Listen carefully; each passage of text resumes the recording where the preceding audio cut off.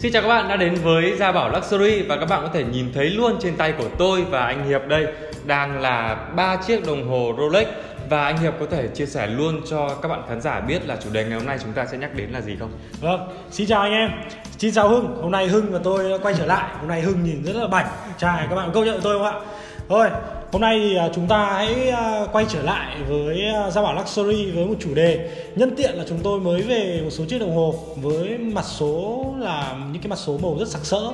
Thì trong cái chủ đề ngày hôm nay thì chúng tôi sẽ chia sẻ tới anh em Gọi là phong thủy đi, nói là phong thủy. Chúng ta đeo đồng hồ này với người nào thì phù hợp Và mặc như thế nào thì thì thì trông cho nó đỡ đỡ đỡ bị chóe quá à, chói lói chói lòa quá đúng không ạ đấy đấy là chủ đề chính của video ngày hôm nay ok thì à, hưng có những câu hỏi gì hỏi anh ngày hôm nay nào chúng ta sẽ bắt đầu luôn nhé. Ở trên tay em bây giờ ở đây thì em đang thấy là một chiếc Rolex màu xanh với mặt màu xanh Đó. và của anh thì cũng một bên màu xanh một bên màu đỏ. Đấy vậy thì cho em hỏi là trước đây đã bao giờ có một chiếc Rolex mà mặt số màu đỏ như này chưa? ờ để mà nói là về đồng hồ thụy sĩ đi thì anh phải nói với hưng và anh em như này này là mặt số màu truyền thống của đồng hồ. Nó chỉ có hai màu thôi. Đó là màu trắng và màu đen.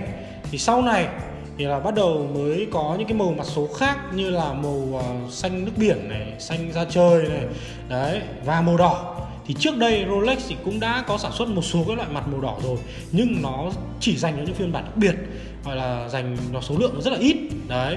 Tuy nhiên năm nay à, đây là một cái mô đồ mới nhất của Rolex với cái bộ sưu tập là Oyster Perpetual đấy và đây là cái lần mà Rolex sản xuất một chiếc đồng hồ có mặt số màu đỏ à, một cách đại trà đó và mặt số màu đỏ thì như em thấy trước đây em đã bao giờ nhìn thấy những chiếc đồng hồ có mặt số màu đỏ chưa em em chưa nhìn thấy bao giờ luôn. Đấy Thì trước đây Rolex cũng sản xuất rất là ít Và ngày hôm nay thì chúng ta mới đang được chiêm ngưỡng một chiếc đồng hồ Rolex mặt số màu đỏ trên tay anh Vậy là nó là hàng hiếm ạ. Úi dồi, quá hiếm chứ không phải là hiếm đâu em ạ Đấy Vừa hiếm mà nó lại là mới ra mua đồ mới Thế nên là nó lại nó lại càng hiếm em ạ Ồ, thế thì cái mức giá của nó thì sao anh? Liệu liệu nó có phù hợp không?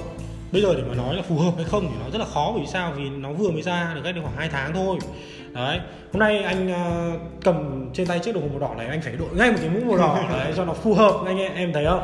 Thì chiếc đồng hồ này ấy, giá của nó chỉ có 150 triệu, khoảng 150 triệu, 160 triệu thôi. Nhưng ngày hôm nay giá thị trường ở bên ngoài ấy, gray market của nó nó giá dao động vào khoảng tầm 260.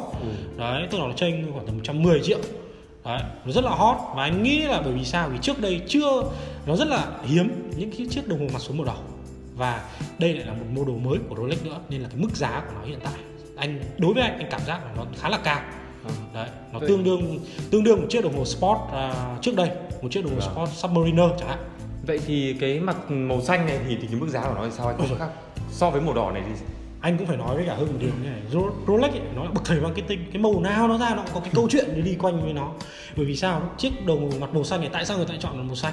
Trước đây những chiếc đồng hồ mặt màu xanh này nó cũng lại chỉ dành cho những phiên bản đặc biệt. Và anh phải nói là những chiếc đồng hồ mặt xanh ấy lại rất cuốn hút những người nhà giàu Trung Quốc. Ờ. bởi vì cái mặt xanh à, lá cây đậm này này thì nó thường người làm người ta liên tưởng đến những cái màu May sắc của ừ, nó là màu sắc của ngọc lục bảo mà ngọc lục bảo đối với văn hóa trung quốc thì nó rất là may mắn này phú quý này giàu sang. Đó thế nên là cái mặt xanh này nó cũng ờ, rất là hot đối với người trung quốc. Việt nam mình thì chưa chắc. Việt nam mình thì bác nào mà lại là là, là mệnh mộc cơ. Kiểu kiểu mệnh mộc mệnh hỏa thích theo theo theo mệnh ấy, thì sẽ mua. Nhưng mà việt nam mình không chuộng màu xanh này như ở Vâng. trung quốc. Đấy anh phải chia sẻ với em và anh em là như thế. Thế theo anh thì cái mặt màu đỏ này đi Ừ. Nó sẽ phù hợp với những người như thế nào? Ờ, phù hợp như thế nào thì nó cũng khá là lại khó nói bởi vì sao? Đơn giản là nếu anh thích thì là nó là phù hợp. Thế thôi đơn giản là Thích như là thế. chốt thôi, đúng không? thích là chốt thôi thích Còn- và có điều kiện. Nhưng mà ngoài ra thì có một số cái vấn đề ví dụ như là à, nó phù hợp với mệnh của anh này. Đấy. Đấy. một cái màu đỏ này anh thấy khá là ấn tượng cái màu đỏ da cam. À, đấy màu đỏ cà rốt. Đấy thì những cái người mà mệnh à, hỏa có thể là đeo để bơm thêm mệnh ở trong người ấy, đi đeo ra ngoài rất là tự tin kiểu kiểu vậy đấy thì anh nghĩ đấy là phù hợp Thế bây giờ thực tế một chút đi là à, khi mà anh cầm chiếc Rolex mà mặt màu đỏ trên tay Ừ. Bản thân anh cảm nhận như thế nào? cảm nhận của anh à ừ, thì thực tế ra mà nói trước đây anh thấy những chiếc đồng hồ màu đỏ ấy nó khá là nổi nó khá là chóe các bạn đấy nếu mà để nói là về ấn tượng thì tôi rất ấn tượng đúng không em có công nhận với anh không Công rất ấn tượng. ấn tượng. rất là ít chiếc đồng hồ có mặt số màu đỏ. Nhưng nếu mà để là anh nếu để anh chọn thì anh khá là khó để phối hợp trang phục với mặt số màu đỏ này. Và với cả là cái cái cách của anh ấy thì anh anh anh, anh thích đeo những chiếc đồng hồ nó chìm chìm hơn một chút. Vâng. Đấy, cá nhân anh thôi đây là cảm xúc cá nhân của anh thì anh không thích mặt số màu đỏ lắm. Nếu mà mua siêu tầm ví dụ như bộ siêu tập này có khoảng 6 màu em có điều kiện chẳng hạn em mua siêu tập em để cất ở trong tủ có bạn bè đến khoe thì ok nhưng để đeo thì khá là khó. Đấy đó là anh thế còn màu xanh thì anh thấy có dễ đeo hơn không? Màu xanh thì khá là dễ đeo hơn nó trầm hơn. Đấy, ra ngoài nắng thì lại rất là đẹp. Nhưng mà giống như anh đã nói như không ban đầu đúng không? đúng rồi, nó không chuộng với người Việt Nam. Nên là với những cái bác nào mà thích cái màu xanh hoặc là là là là, là có mệnh hoặc uh, có mệnh mộc thì đeo rất là ok. Đấy, nhưng mà anh kể cho hưng một câu chuyện đó là đợt vừa rồi ấy là những cái chiếc uh, Submariner TH ấy vâng. có màu xanh. Sau khi dừng sản xuất một cái giá nó tăng chóng mặt luôn điên đảo luôn em ạ đấy cũng là một chiếc đồng hồ màu xanh đấy nhưng mà anh biết không? Trước đấy nhá anh biết có rất là nhiều người ở bên nước ngoài người ta thu mua nó với cái mức giá thậm chí là rất là cao.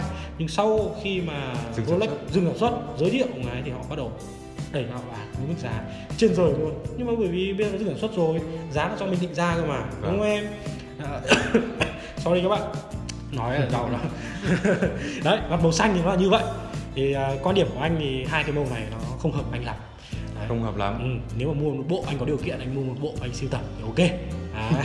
thế nếu bây giờ mà anh bắt buộc phải sở hữu một chiếc đồng hồ mặt đỏ này đi ừ. thì anh sẽ kết hợp với trang phục như thế nào để nó tôn lên được cái đồng hồ mặt đỏ này cũng cũng như là biến nó thành điểm nhấn tức là như này anh à, hương ạ thì à, để mà đeo một chiếc đồng hồ mặt đỏ này với bản thân anh là anh đã không thích sặc sỡ rồi thì anh sẽ cố gắng là làm sao anh phù hợp anh phối trang phục của anh nó đơn sắc thôi một là hoàn toàn trắng hai là hoàn toàn đen để cho cái đồng hồ nó là điểm nhấn còn lại những cái khác thì nó mang tính chất là nó đẩy cái màu sắc đỏ này nó dịu xuống.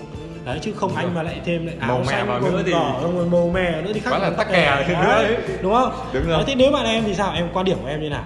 Thực ra nghe xong thì quan điểm em cũng giống anh thôi. Là em thì em cũng đóng một bộ nó đơn sắc nó đơn giản thôi. À. thì đồng hồ nó mới tôn lên được. À, chứ đúng. thêm màu trên người mình nữa thì đương nhiên là đồng hồ nó sẽ bị phai nhạt đi rồi. Rồi ok thế hưng còn câu hỏi gì tới anh và để anh giải thích cho anh em và anh em không? À, về độ tuổi đi anh. Em thấy cái đồng hồ này nó cũng khá là trẻ. Thì cái độ tuổi phù hợp để đeo một chiếc đồng hồ với mặt số đỏ cũng như là màu xanh này thì là độ tuổi khoảng bao nhiêu theo anh? Theo anh thì người ta có điều kiện người ta thích người ta chốt thôi. Đấy chứ còn bây giờ uh, khoảng tầm 10 15 tuổi cổ tay em to mà nhà em có điều kiện bảo em đeo em có đeo không? Đeo ngay đúng không? Uh, độ tuổi thì nó nó rất là vô cùng. Quan trọng là mình thích và mình có điều kiện là chơi thôi. Bây giờ em mà có điều kiện em mua cả hai cái hai màu em đeo hai bên tay thì có được không anh nó phải gọi là quá được luôn. Chứ em phải đi thi kinh of rap hay là gì đấy. Người ta gọi là tạo dấu ấn cho em ngay đúng không? Hôm nay nhìn trông như nghệ sĩ này. Đeo hai tay là chuẩn rồi. Hai tay hai đồng hồ hai một xanh một đỏ. đúng đấy đúng không? Gặp một người xòe ra này nhìn thấy chưa? Mấy giờ rồi? Đúng không ạ? Đấy bên này đấy lại màu đỏ. Đấy đó Nhiệt. gặp một người mệnh hỏa thì mình giơ tay trái màu đỏ ra. À, mệnh gì thì mình giơ tay phải. Đúng rồi thế thì gọi là chết ngay đúng không Ok vậy thì ngoài những cái câu hỏi cơ bản em vừa hỏi ấy, ừ. thì um, góc nhìn của anh thì anh một người rất là am hiểu đồng hồ anh còn một cái chia sẻ gì cho các bạn nữa không? Ui nóng quá. Nóng quá.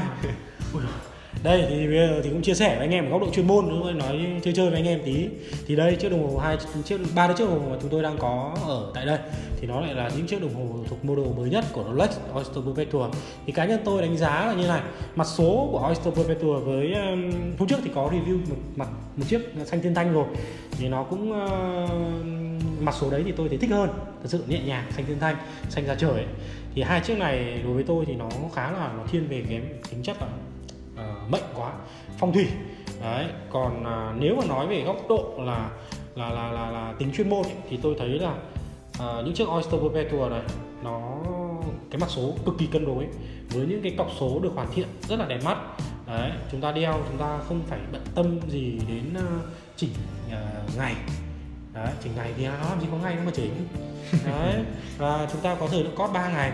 Đấy khá là phù hợp. Ví dụ chúng ta đeo uh, xong rồi ờ, mấy ngày sau chúng ta không đeo ba hai ba ngày không đeo thì chiếc đồng hồ nó chặn thì tôi đánh giá là à, bộ sưu tập ờ, à, 124300 này nó nâng từ 39 đến 41 ấy nó khá là phù hợp với xu thế hiện nay kết hợp thêm nhiều màu sắc.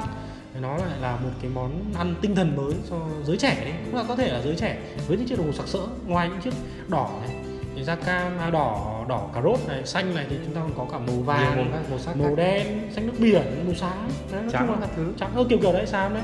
Nhìn nó rất là cuốn hút và bắt mắt. Đấy. Thì à, tôi nghĩ là đó là những cái điểm mà chúng tôi chia sẻ ở trong video này. À, về à, mệnh. Một số thông tin liên quan đến mệnh của những chiếc đồng hồ chúng tôi đang sở hữu đây.